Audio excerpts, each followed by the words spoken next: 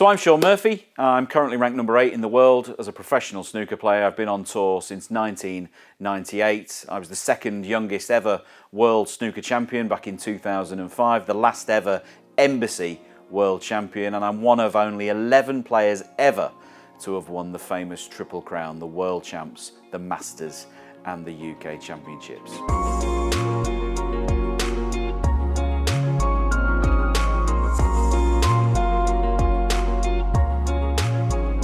Uh, geez, first got involved in snooker. I got a little snooker table for Christmas.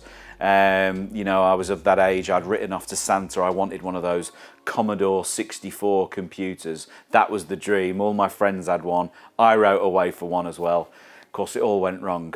And uh, I don't know if my message got lost in the post or something, but Santa brought me a, a small Steve Davis snooker table instead. But you know, I was absolutely hooked. And before I knew it, um, my dad was taking me to the local clubs. We were playing in local league matches. And then all of a sudden, we found ourselves on the junior tour, touring the country, playing for England, climbing the ladder of the junior scene, the amateur scene, and at 15, having played for seven years, uh, in, in August 1998, I turned pro, and um, it's gone in the blink of an eye.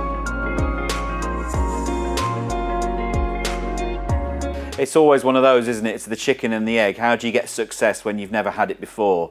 And I think it's one of that you need all of those ingredients. A coach of mine once said, if you're trying to make a chocolate cake, you've got to put all the ingredients in at the correct moment at the correct intensity. If you don't, you get something that looks like a cake but actually isn't. And if you don't have the talent, the hard work, the dedication, the right attitude, the willingness to fail and come back, that determine all of those vital ingredients, if you miss one of them out, you can't make it.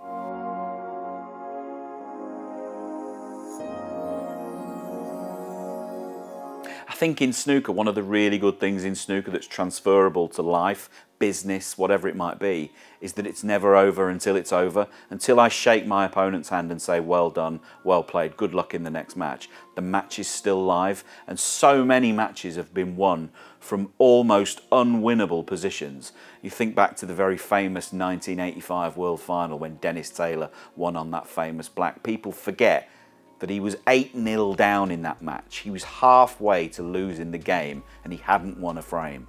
So you have to retain that unbeatable level of self belief that if I get my chance, I'll scrape myself back up off the canvas. I'm going to get back to the table and I'm going to keep pushing forward, keep trying hard because, as I say, it's not over until it's over.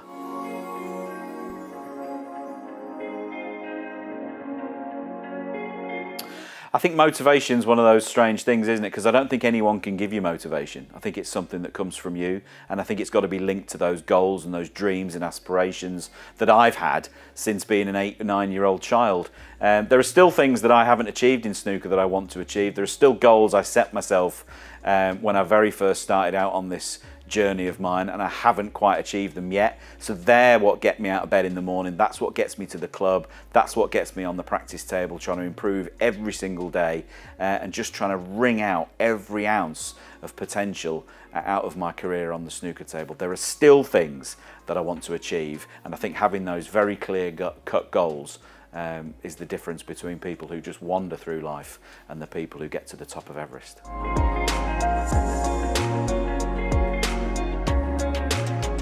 Think personal highlights. I mean, um, you know, the obvious ones are, are, obvious. You know, the, the Triple Crown wins, the Worlds, the Masters, the UK, spanning across, you know, a good a good length of time. Almost 11 years it took me to complete that set. Um, you know, every win's special, every moment's special.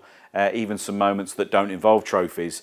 Uh, last season, I made a 147 at the shootout and when we invented the shootout as a sport against the clock with the crowd, all the rest of it, none of us thought a century break was going to be possible. So to be the first player to make a 147 in that scenario, do you know something that I'll probably remember for the rest of my life? Um, I won Magic Moment of the season last year because of it.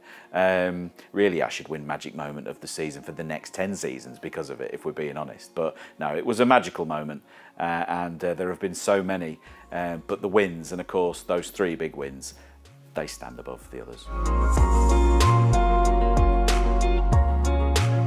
Well, as the only person in the world who's made all three 147, 9 darter, and a hole in one, I'm the authority on it, aren't I? I'm the only one who can answer the question, and of course, obviously, it's the 147. Not just because I'm a snooker player, but it's the right answer. I always say if you gave an absolute beginner the opportunity to do all three, which would they do first? Well, anyone can have a hole in one. Um, I think then you'd achieve the nine darter second. And I think most people, you could stand there for the rest of your life, you'd never make a 147. That is by far the most difficult. Uh, it's 36 pots for a 147. And what makes the difference? Here's the difference between the 9 darter and the 147. Just to put the argument to bed once and for all. 9 darter, the, dart, the board never moves. The players always throw from the same place, and the targets are always in the same place. No snooker frame has ever been the same. The balls are always in different places. There's a lot more shots. There's 36 pots to make a 147. Um, those balls are always in a different configuration. It's always a different puzzle. And you always have to get back from every red for the black. There's no different way to doing it. I think there's at least two or three different routes to making a 9 darter. There is only one route to making a 147. The balls are always in a different position. The targets move constantly. No two frames have ever been the same. The real question is, why aren't there 9 darters all the time? That board never moves. Case rests.